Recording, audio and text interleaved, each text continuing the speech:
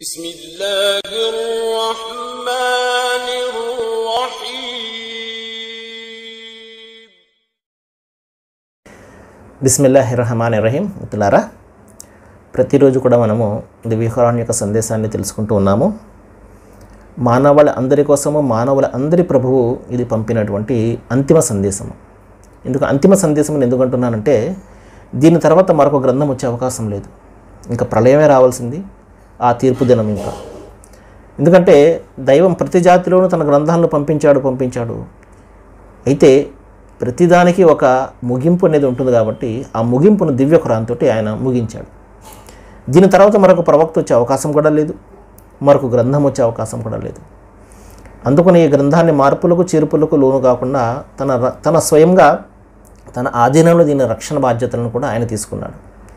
ఈ రోజున దివ్య ఖురాను దాని యొక్క ఒరిజినల్ భాష అయినటువంటి అరబీ భాషలో కంఠస్థం చేసుకున్నటువంటి వాళ్ళు మిలియన్స్ ఆఫ్ పీపుల్ ఉన్నారు ఈ రోజున సోదర మహాశిల అందుకనే భౌతికంగా ఉన్నటువంటి దివ్య ఖురాన్ నాశనం అయిపోయినప్పటికీ కూడా కాలిపోయి లేకపోతే మరొక విధంగా ఏదైనా అయిపోయినప్పటికీ కూడా హృదయాల్లో మిగిలి ఉన్నటువంటి దివ్య ఖురాన్ అరబీ భాషలో యాజ్ ఇట్ ఈస్గా మళ్ళీ ప్రొడ్యూస్ అయిపోతుంది.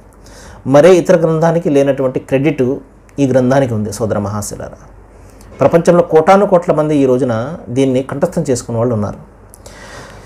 పద్దెనిమిది అధ్యాయం యాభై నాలుగో వచనంలో ఈ విధంగా హెచ్చరిక చేస్తున్నాడు. మేము ఈ ఖురాన్న ప్రజలకు పలు విధాలుగా హితబోధ చేశాము. కానీ మానవుడు పరమ జగడాల మారి.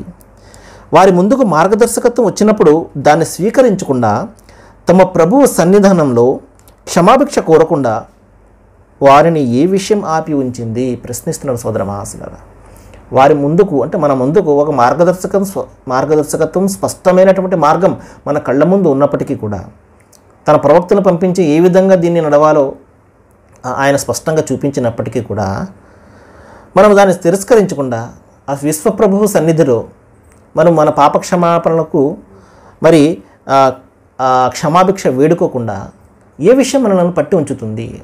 ఎందుకు మనలో ఈ గర్వము? ఎందుకు మనలో ఈ తలబిరుసుతనము సోదర మహాశిలారా సోదరిమన్నారు దైవం ఏదైనా క్షమిస్తాడు కానీ ఈ పొగరును ఈ గర్వాన్ని తలబిరుసుతనని ఎంత మాత్రం కూడా క్షమించడు. ఈ విషయాన్ని ఎప్పుడు కూడా మనం గమనించాలి. మనం ఈ విధంగా సమాధానం ఏమివ్వాలి? లేదు ఓ దైవమా మేము తలబిరుసుతనాన్ని ప్రదర్శించడం లేదు. మేము నీ ముందు వినమ్రతతో విధేయతతోటి వినయంతో నీ ముందు మేము మొకరిల్లుతున్నాము అని చెప్పేసి మనము దైవం ముందు సాష్టాంగపడ్డం తప్ప మనకు మరొక మార్గాంతం లేదు. రండి దివ్య ఖురాన్ను మనము తెలుసుకుందాము అర్థం చేసుకుందాము. తెలుగు భాషలో తేట తెలుగు తెలుగు భాషలో ఇది లభిస్తుంది.